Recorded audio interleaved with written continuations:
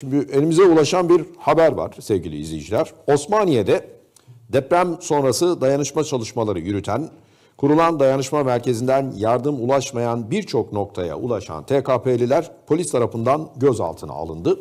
Şimdi konuyla ilgili olarak TKP Genel Sekreteri Sayın Kemal Okuyan telefon hattımızda değil mi arkadaşlar?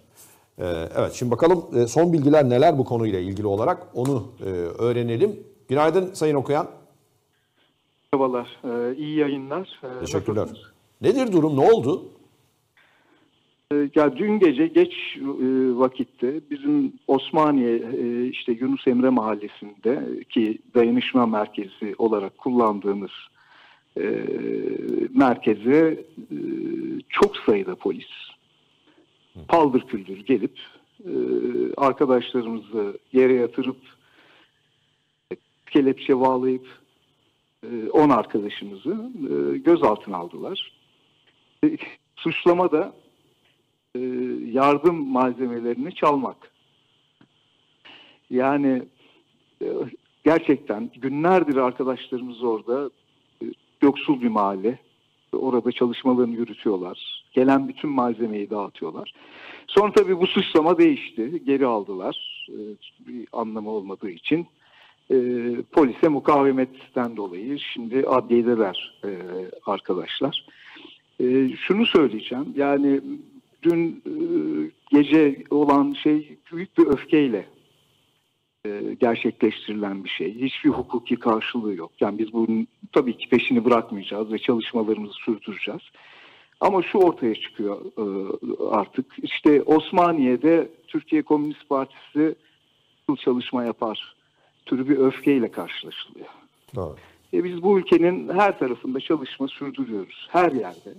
Bizden geldiğince ve buna devam edeceğiz. Yani ülke haldeyken, yurttaşlarımız bu haldeyken. Dün gece bakın az önce ondan şımarıklık, bir yüzsüzlük, arsızlık artık ne diyeyim olduk. Ee, yani böyle paralar saçıldı ortalığa. Yani halk sadaka istemiyor. Halk dil bir düzen istiyor. Bu depremde ortaya çıktı. E şimdi depremde e, hiç ortalıkta gözükmeyen, sorumluluğunu yerine getirmeyen siyasi iktidar gösterilerinde bulunmaya başlıyor. E, dediğim gibi soğukkanlı bir şekilde e, bırakmayacağız. Yani e, çalışmalarımızı da sürdüreceğiz. Hiç kimse, sadece bu Türkiye Komünist Partisi için geçerli değil. Yani bu yurttaşlarımızla dayanışma örgütleyen hiç kimse siyasi iktidar bundan rahatsız oldu diye bundan vazgeçecek değil. Hukuken de peşini bırakmayacağız. Orada hiçbir arkadaşımız e, bu ülkede e,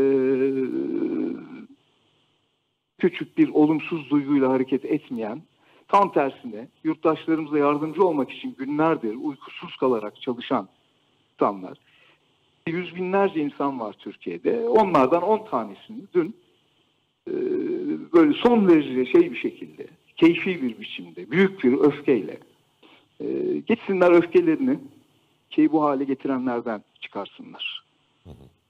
E, söyleyeceğim budur. E, Anladım. arkadaşlarımız henüz göz al, yani şeydeler, e, işte savcılar çıkarılacaklar. E, biz çalışmalarımıza devam edeceğiz. Anlıyorum. Peki. Ee, size kolaylıklar diliyoruz. Çok teşekkürler bu açıklamalar için.